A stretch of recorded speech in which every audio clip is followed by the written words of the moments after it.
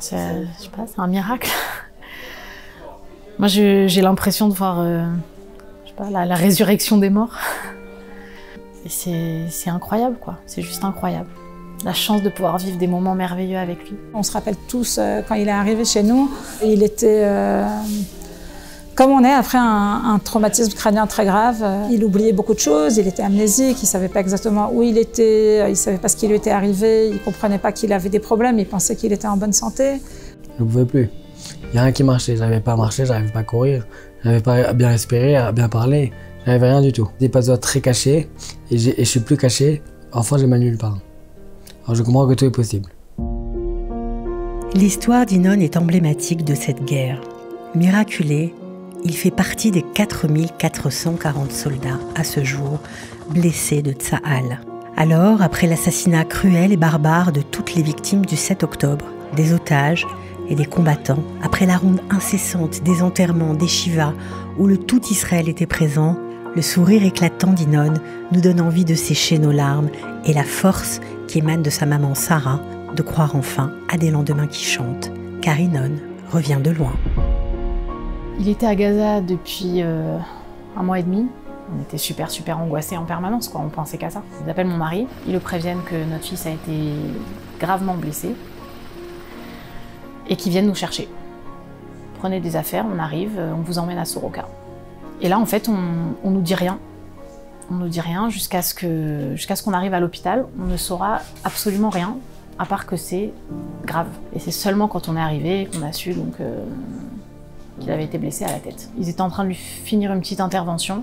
Et surtout, ils voulaient d'abord qu'on voit les médecins pour que les médecins nous expliquent ce qui se passait. Euh, et c'est seulement après qu'ils nous ont laissé rentrer. Et donc là, le choc. On rentre dans la chambre, on voit notre fils euh, complètement euh, massacré. Il avait une espèce d'antenne qui sortait du crâne pour mesurer sa pression intracrânienne. Il avait le visage tout brûlé, des, des, fractures un peu partout. On nous a dit il va vivre. On savait qu'il n'était pas en danger de vie ou de mort. après, c'est une blessure à la tête. Donc en vrai, même eux, ils savent pas grand-chose. Ils l'ont mis dans le coma tout de suite. Déjà là-bas sur le terrain, ils l'ont mis dans le coma pour le protéger et euh, ils lui ont sauvé la vie. Ils lui ont euh, fait euh, une ouverture ici pour lui permettre de, respirer.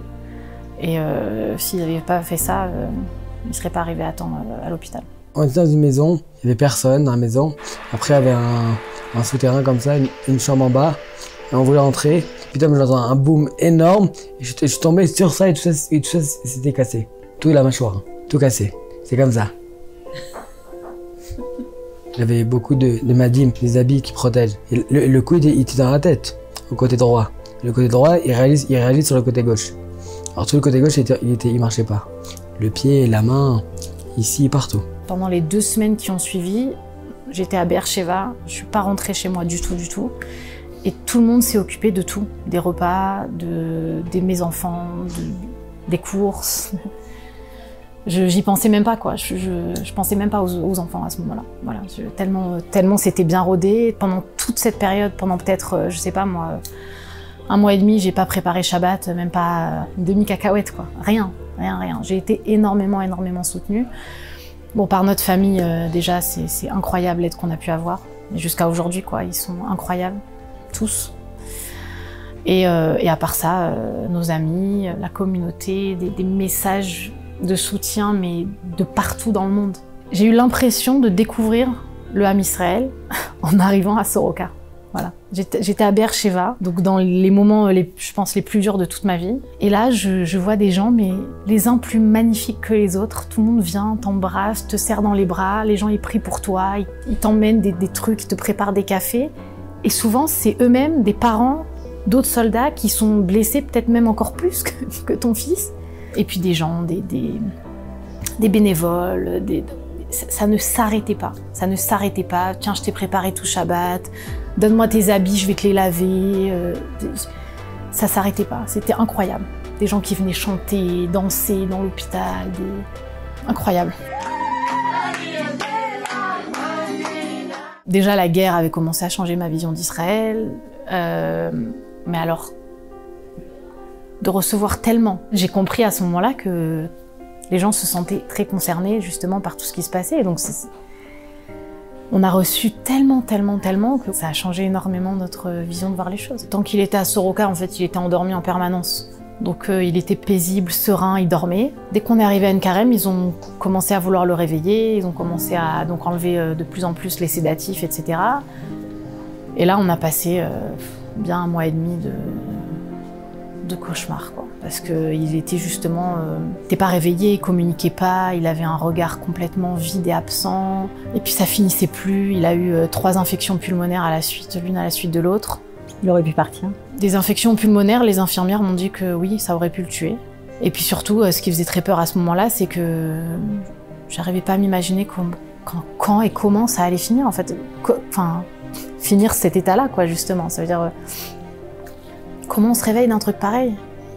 Et Ça avait l'air qu'il qu'il était pas là du tout, du tout, alors qu'il avait les yeux ouverts, il avait un regard complètement absent, il bougeait quasiment pas. Et quand il bougeait, c'était que des plus de, de l'ordre du réflexe, quoi. Et c'était même violent, des gestes violents. Enfin, c'était euh, c'était très dur. Chaque truc que je fais, je suis heureux. Que je respire sans tuyau, que je marche, que je parle, que je mange avec une cuillère, sans tuyau. Je suis content de, de chaque truc.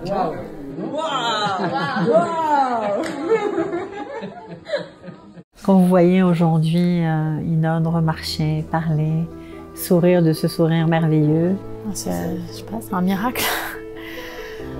Moi, j'ai l'impression de voir, euh, je la, résurrection des morts. C'est, euh, alors c'est ce que- disent tous, hein, les gens qui ont été dans ce genre de, cas, et je comprends ce qu'ils disent. Ils disent, on a reçu euh, notre fils ou notre père, on, l'a reçu en cadeau une deuxième fois. Mais c'est vraiment ça. C'est comme s'il était revenu à la vie. Et, euh, et c'est, c'est incroyable, quoi. C'est juste incroyable. Voilà, le- le, la chance de pouvoir vivre des moments merveilleux avec lui. tu as un soutien exceptionnel de tes parents. Tu te rappelles de leur voix pendant que tu étais dans le coma Je me rappelle que d'un truc. Mon père qui m'attrape les mains et ma mère qui pleure. J'avais rien compris. Pourquoi elle pleurait Pourquoi j'étais là-bas Pourquoi j'étais endormi? Je comprenais rien. Il m'aidait beaucoup. Il m'aidait à faire tout. À descendre des escaliers, à marcher, à manger. Il m'aidait à faire tout. Maintenant, je fais tout tout seul. Avant, j'oubliais tout. J'oubliais tout. Après deux minutes, j'oubliais tout. Maintenant, je me rappelle de tout. Parce que je fais du polymécie pour ça. Physiothérapie pour marcher, courir et les jambes. Et Répoubé Issouk. C'est pour la main et pour le- la mémoire. Le fait d'être arrivé ici, dans cet hôpital qui a ouvert au moment où il a dû euh, trouver un endroit pour l'accueillir pour la réhabilitation, ça aussi c'était un, c'était un miracle pour vous. C'est un miracle parce qu'on vit à Jérusalem.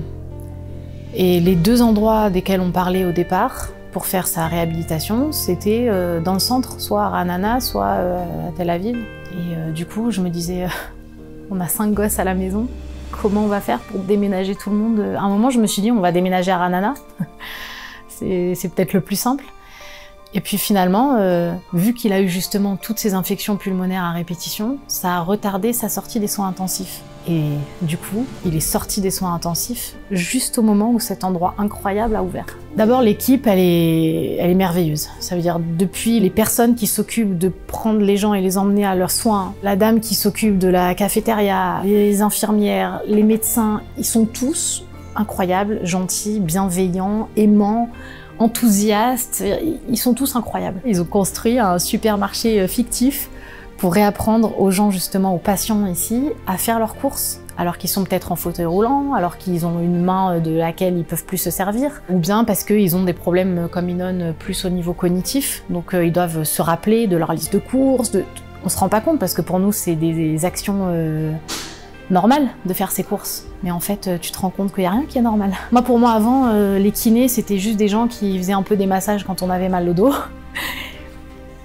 Ici, j'ai découvert des gens qui, qui redonnent la possibilité à mon fils de marcher, de courir. Voilà, les premières fois qu'il a couru, c'était dans ces couloirs-là, avec sa kiné qui, court avec lui dans, les couloirs. Euh, les ergothérapeutes, moi pour moi avant c'était des gens qui font coller des gommettes aux enfants de 3 ans quand ils ont du mal. Là ici, euh, ben, j'ai découvert euh, que c'est un métier euh, absolument incroyable. Et lui, il lui réapprend euh, à se servir de sa main gauche qui bougeait plus trop. Allez, montre-lui deux doigts. Tiens, hop, אבל שתיים ועוד שתיים, כמה זה שתיים ועוד שתיים? כפרה לך! Il lui réapprend à se souvenir de, de plein de, de- des étapes dans toutes les actions qu'il doit faire. Elle lui a réappris à s'habiller. Il a dû tout réapprendre et il l'a appris euh, grâce à tous ces gens merveilleux qui, sont là. Inon, c'est un des patients euh, qui m'est le plus entré dans le cœur dès le début. Euh, J'ai suivi son, son cas avant qu'il n'arrive ici, en fait. On m'envoyait les, papiers sur son cas et j'étais en contact avec l'ergothérapeute d'Adassa Karem. Elle me disait, ouais, tu sais, il dort, il n'est pas encore complètement conscient, je m'inquiète, il est moitié comateux, tout ça. Donc j'avais déjà lu son dossier, j'avais regardé les scanners, tout ça. J'avais dit, non, mais sache que moi, je suis optimiste. Je pense qu'il va, je pense qu'il va se réveiller, je pense qu'il va venir et qu'il fera de grands progrès. On se rappelle tous, euh, quand il est arrivé chez nous, il était... Euh, comme on est après un, traumatisme crânien très grave, euh, il oubliait beaucoup de choses, il était amnésique, il savait pas exactement où il était, il savait pas ce qui lui était arrivé, il comprenait pas qu'il avait des problèmes, il pensait qu'il était en bonne santé, qu'il pouvait marcher, qu'il pouvait tout faire normalement, et puis il avait des problèmes d'équilibre, il pouvait pas du tout euh, ni marcher, euh, même avec un déambulateur, il n'était pas capable, il, il est tombé plusieurs fois parce qu'il se rendait pas compte qu'il pouvait pas se lever tout seul. Il était dans un état pas très facile à voir. Et c'était très touchant pour nous, mais il était indubitablement euh, conscient. Entre ses premiers jours d'hospitalisation et un mois après, deux mois après, des, des progrès incroyables, euh, fulgurants, bien mieux que ce qu'on avait espéré, au-dessus de nos espérances. Et il nous étonne tout le temps, et il a une famille incroyable.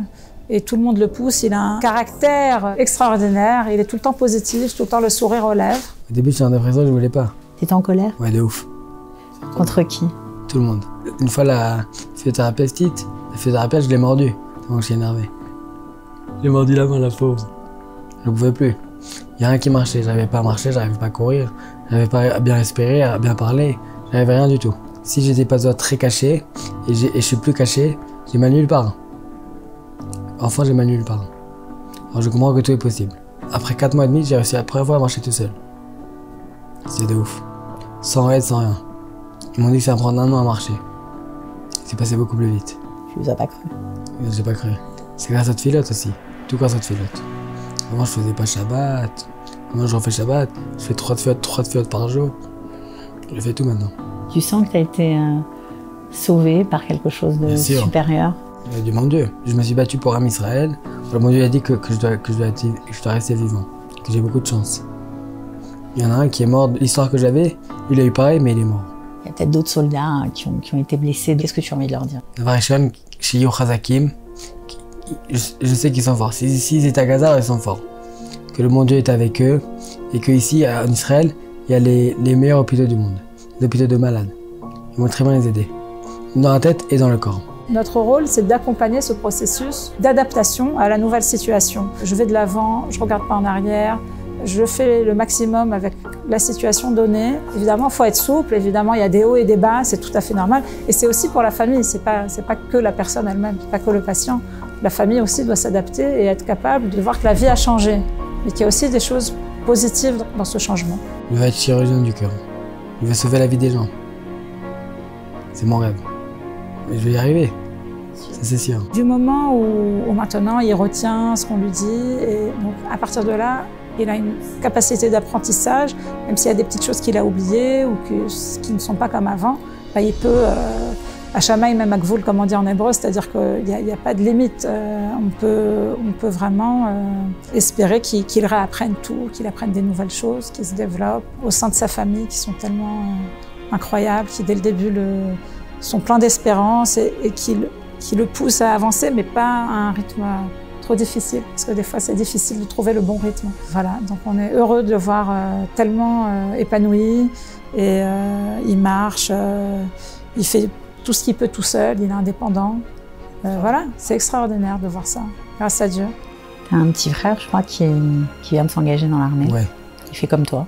Il y dur pour lui de rentrer à l'armée après que son frère s'est blessé. C'est dur, et il est fort. J'ai donné la force de, continuer, de, rester, d'être fort, d'être commandant comme moi. Je dis que les, gens là-bas, c'est des potes pour toute la vie. On passe avec toi le plus dur, toute la vie. C'est des potes de ouf. Alors je pense qu'il y, a des gosses que certainement ça aurait pu refroidir, de voir leur grand frère se prendre une bombe dans la, dans la tête. ben lui, non seulement ça l'a pas refroidi, mais ça lui a donné envie d'avancer son enrôlement. Et ça lui a donné envie en plus de, faire vraiment les choses encore mieux et de pas juste euh, voilà, se contenter du minimum comme service militaire. Et on est, très fiers de lui. En tant que mère, c'est dur. Mais depuis le début en fait de toute cette histoire avec Inon, j'ai compris que je suis pas juste une mère. Je suis euh, la mère d'enfants, de, parce que c'est des enfants, hein, mais qui ont compris le rôle qu'ils ont à jouer euh, au niveau du peuple juif. Et donc, je peux pas juste réfléchir avec mes tripes. C'est pas possible. On fait partie d'un tout. je pense qu'on s'en rend bien compte ces derniers mois avec tout ce qu'on vit ici. Et quand on a euh, ses enfants à l'armée, je pense qu'on est obligé de s'en rendre compte. Au tout début, quand il a été blessé, je j'ai réagi justement comme une mère. Et je trouvais ça injuste et horrible et dur. Et à partir du moment où j'ai justement réalisé que, que oui, c'est mon fils, mais je suis la mère d'un soldat d'Israël, à ce moment-là, tout a changé parce que justement, je me suis plus vue juste comme une victime de ce qui se passait, mais au contraire, je l'ai vu à lui comme un représentant de quelque chose. Et donc, ça a donné un sens et ça nous a donné un peu une mission à nous tous. Puis on donne de la valeur euh, aux petites choses. Voilà, un petit repas de Shabbat pour moi maintenant, c'est, je sais pas, c'est une fête. Est-ce que vous avez envie de, de dire à d'autres mamans qui, comme vous, euh, ben, sont elles aussi peut-être à Soroka en ce moment, à Tel HaShomer, dans les hôpitaux d'Israël, qui attendent des bonnes nouvelles Déjà pour moi c'est très dur dès que j'entends euh, des soldats blessés, parce que c'est vrai qu'avant on n'avait même pas tellement conscience qu'il y avait tellement de soldats blessés. On entendait juste euh, les soldats qui partaient, qui tombaient, mais on n'entendait pas euh, trop parler des blessés. Depuis que j'ai vécu ça, pour moi c'est très dur parce que ben, je sais ce qui les attend. Donc dès que j'entends un hélicoptère, euh, franchement, je, me mets très souvent à pleurer parce que je pense euh, voilà, aux familles et c'est très dur. Et en même temps, euh, je pense que c'est une des périodes qui a du sens, vraiment. Et c'est une des périodes qui nous a tous fait grandir comme, jamais.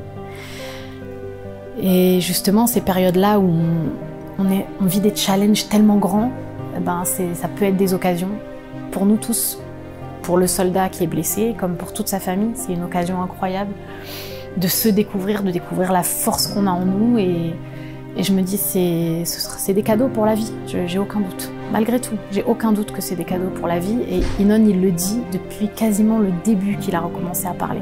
Un jour, je me rappelle, on était sur la terrasse ici. Et il m'a dit, euh, oh, maman, tu te rends compte? J'ai mes deux pieds, j'ai mes deux jambes, j'ai mes deux bras, j'ai mes deux mains. Merci Hachem. Maman, je peux fumer tout seul. Merci Hachem. Je peux aller aux toilettes tout seul. Très vite, s'est rendu compte en fait que le fait d'être capable de remercier sur ce qu'il avait, euh, c'est ça qui allait l'aider à s'en sortir. Et, euh, et le fait qu'il soit tellement positif, c'est ça qui l'aide justement à avoir des cadeaux même dans n'importe quel challenge et c'est ça qui l'aide à, progresser de manière euh, fulgurante. Qu'est-ce que je peux te souhaiter? D'être même mieux qu'avant, mieux qu'avant la blessure même. Et, je, commence à voir ça. Beaucoup plus heureux, beaucoup plus gentil, tout. Beaucoup plus ma'amine Nakadosh Baruch Hu. Bon Hashem. Bon, on te souhaite le meilleur, Inon. Amen, amen. Le courage d'Inon, héros d'Israël, nous accompagnera longtemps comme le symbole d'une jeunesse meurtrie qui revient à la vie. Le dévouement des soignants, la foi de Sarah et ses proches aussi. Une résurrection qui sonne comme la plus belle des réponses à nos ennemis. Et comme le chanteur P.R. Paty, comme Inon et ses amis, nous aussi, nous apprendrons à danser avec la douleur, le sourire aux lèvres.